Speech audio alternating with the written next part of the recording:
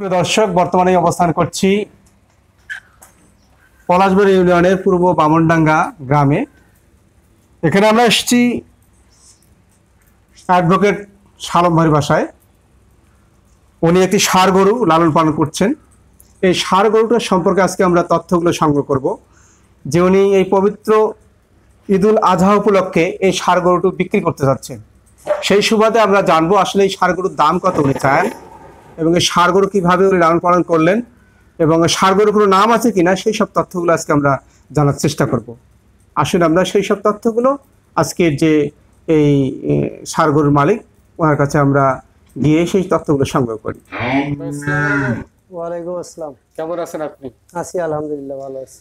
Visor এই যে গরু আপনার দেখতেছি আমরা অনেক বড় ষাড় গরু আপনার।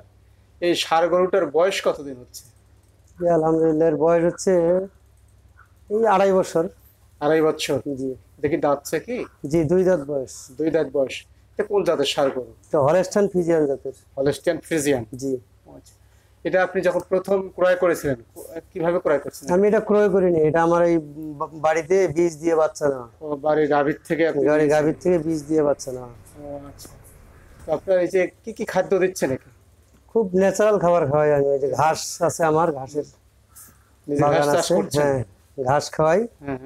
আর এমনি এই যে একটু খুদের ভাত আসছে ওপর। আচ্ছা। এই আর হালকা করে একটু ফিট দিই। কয়বেলা খাদ্য দিচ্ছেন? দুইবার। দুইবার। তো এই পবিত্র ঈদ উল আজহা উপলক্ষে কি আপনি এটাকে সেল করতে যাচ্ছেন? জি আশা করছি যে এই দিয়ে আর কি সেল করবেন। সেল করব। এর ওজন কত বলতে পারেন? এর ওজন হচ্ছে ষোলো মন অর্থাৎ ছয়শো চল্লিশ কেজি। ছয় শত চল্লিশ কেজি। আর মন দিয়ে হচ্ছে ষোলো মন। ষোলো এটা মাপ ছিল প্রাণী সম্পদ অধিদপ্তরের। আচ্ছা। কর্মী আসে মাপ দিছে। মাপ দিছে না? মাপ দিয়ে উনি আমাকে হিসাব দিয়ে গেছে ও আচ্ছা। তো বর্তমান আহ, বাজার মূল্য আপনি কত চান আমি সাত লক্ষ পঞ্চাশ হাজার টাকা দাম চাইছি সাত লক্ষ আশা করতেছি এরকম দাম সাত লক্ষ পঞ্চাশ হাজার টাকা। জি কারণ অনেক ব্যয়বহুল। প্রতিদিন সাতশো আটশো প্রায় হাজার টাকা লোকসহ হাজার টাকা খরচ তার পিছনে এর পিছনে? জি। পার ডে পার ডে আচ্ছা। একে কি গোসল করেন আপনারা? জি আমরা গোসল করাই। দিনে তিনবার। দিনে তিনবার গোসল করাচ্ছেন? জি। যদি স্বাভাবিক তাপমাত্রা থাকে তো দুইবার করাইলে হয় একটু যদি বেশি তাপমাত্রা বেশি তাপমাত্রা হয়। তাহলে তিনবার ধোয়াইতে হয়। ও আচ্ছা। তো এই সার গরু কি কেউ দেখেছে এর আগে? এর আগে হ্যাঁ এমনি দেখেছে তখন আমার বিক্রি করার প্ল্যান ছিল না। আমার আশা ছিল যে এই পবিত্র ঈদুল আজহাতে একে বিক্রি করবে আচ্ছা। তো এখন আপনি এটা কীভাবে ছাড়তে চান? আমি এই আপনাদের মাধ্যমে যোগাযোগের মাধ্যমে একটু সবাই জানলে না জানলে মানুষ কীভাবে বুঝবে যে আমার কাছে এটা ও আচ্ছা আপনি আছে তাছাড়া উত্তরে কৃষি ইউটিউব চ্যানেলের মাধ্যমে আপনি প্রচার করতে যাচ্ছেন প্রচার প্রচার গরুকে না? জি জি যেন মানুষ সেটা দেখে ক্রয় করতে পারে। জি। তাছাড়া আমি তো অন্য পেশায় জড়িত। আচ্ছা আপনি মূলত আসলে কি করেন? আমি আসলে আমি আইন পেশায় নিয়োজিত আছি আমি নীলফামারী জেলা আইনজীবী সমিতির সদস্য।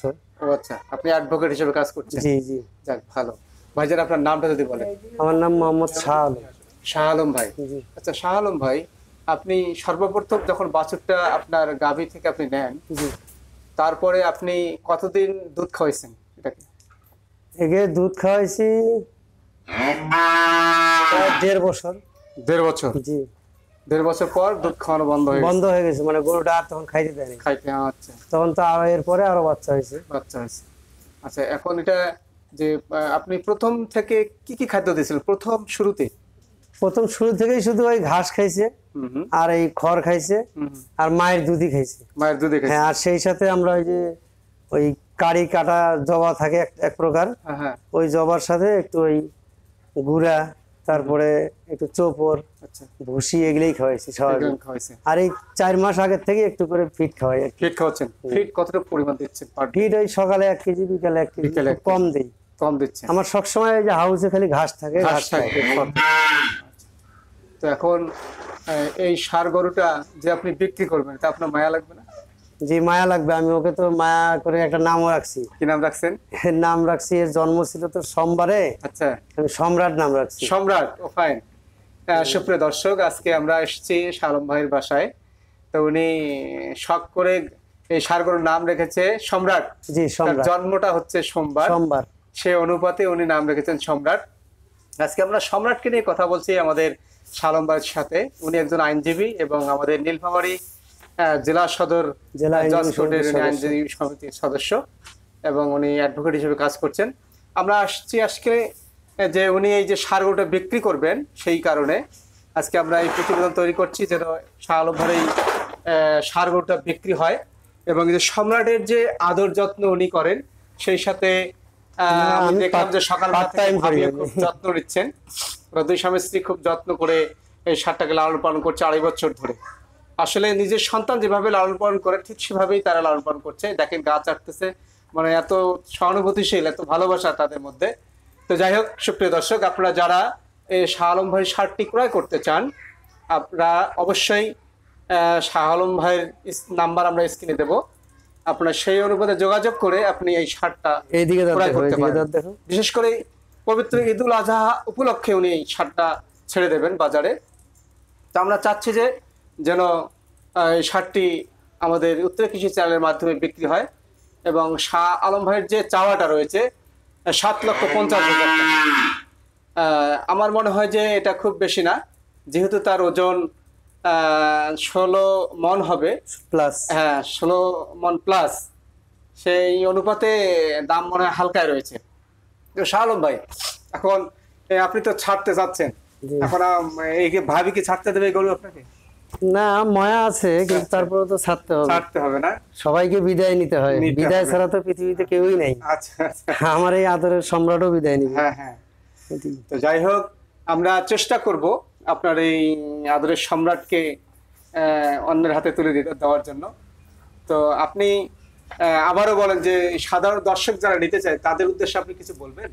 দর্শকদের উচ্চ- উদ্দেশ্যে আমার বলা হলো আমার গরুটা খুব সুন্দর। আচ্ছা আচ্ছা। আমি মনে করি নীলফামারী জেলায় আমার গরুটা সৌন্দর্য দিক দিয়ে খুব সুন্দর। আচ্ছা আচ্ছা। এর সম্পূর্ণ দেহটাতে কোনো একটা সুই পরিমাণ স্পট আছে বলে আমি আজ পর্যন্ত দেখিনি। হ্যাঁ না আমরা সেটাই দেখলাম যে আসলে সেই দিক থেকে আর এই পবিত্র ঈদুল আজহায় আমরা যেটা কুরবানি দিব সবচেয়ে সুন্দর।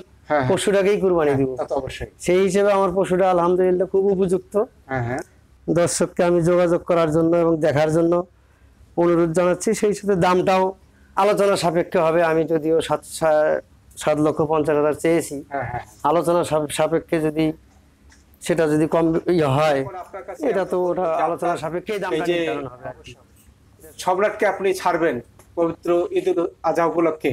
এখন সেই সুবাদে আপনি আপনার মোবাইল নাম্বারটা যদি একটু বলেন। জি আমার নিজস্ব mobile number. Zero one seven two one nine three two zero one six. আপনার এলাকার নামটা কি?